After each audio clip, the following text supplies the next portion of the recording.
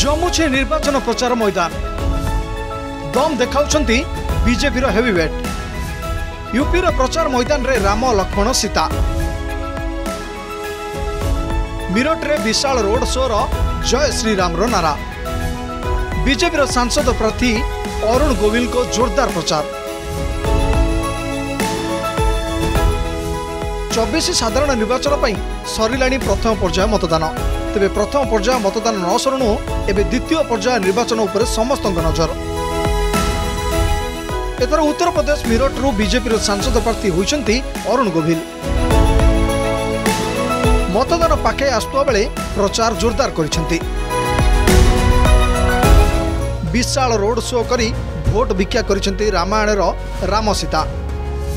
ରାମାୟଣରେ ରାମ ଭୂମିକାରେ ଅଭିନୟ କରିଥିବା ଅରୁଣ ଗୋବିଲଙ୍କ ପାଇଁ ପ୍ରଚାର କରିଛନ୍ତି ସୀତା ଭୂମିକାରେ ଅଭିନୟ କରିଥିବା ଦୀପିକା ଚିଖଲିଆ ସାଙ୍ଗରେ ଲକ୍ଷ୍ମଣ ଭୂମିକାରେ ଅଭିନୟ କରୁଥିବା ସୁନୀଲ ଲହରୀ ମଧ୍ୟ ସାମିଲ ହୋଇଥିଲେ ଯାହାକୁ ଦେଖିବାକୁ ରାସ୍ତାର ଦୁଇ କଡ଼ରେ ହଜାର ହଜାର ଲୋକ ଉପସ୍ଥିତ ଥିଲେ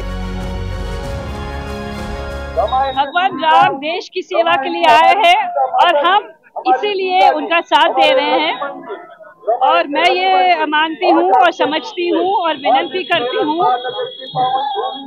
मेरठ के सभी लोगों को कि आप सब भी अरुण जी को वोट दीजिए और बहुमती से जिताइए।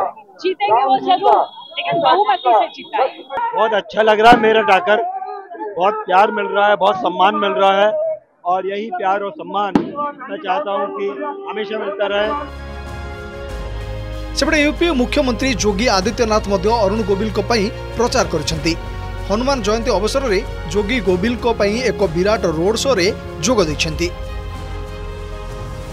ଆସନ୍ତା ଛବିଶ ତାରିଖରେ ଦ୍ୱିତୀୟ ପର୍ଯ୍ୟାୟ ନିର୍ବାଚନ ଅନୁଷ୍ଠିତ ହେଉଥିବା ବେଳେ ମିରଟ ସମେତ ଉତ୍ତରପ୍ରଦେଶରେ ଆଠଟି ସଂସଦୀୟ କ୍ଷେତ୍ରରେ ଭୋଟ ଗ୍ରହଣ ହେବ ଏଥିସହିତ ତେରଟି ରାଜ୍ୟର ଅଠାଅଶୀଟି ଆସନରେ ଭୋଟ ଦେବେ ମତଦାତା यहाँ पर रामायण के तीनों क- किरदार भगवान राम लक्ष्मण और माता सीता राम जी को जिताने के लिए अरुण गोविल को जिताने के लिए यहाँ मौजूद है।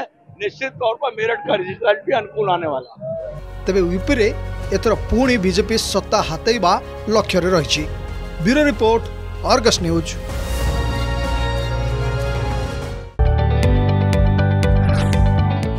जदि आपण को आम भिडी भल लगा तेब आम चेल्क लाइक शेयर और सब्सक्राइब करने को जमा भी बुलां नहीं।